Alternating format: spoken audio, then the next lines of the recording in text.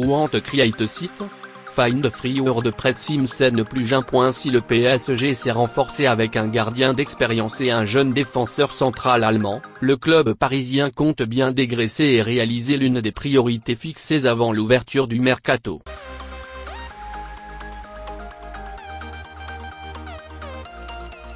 En effet, prêté à Valence la saison dernière où il a excellé, Gonzalo Guedes devrait bien poursuivre sa carrière en Espagne puisque le club tché est en passe de trouver un accord avec le club parisien pour un transfert définitif.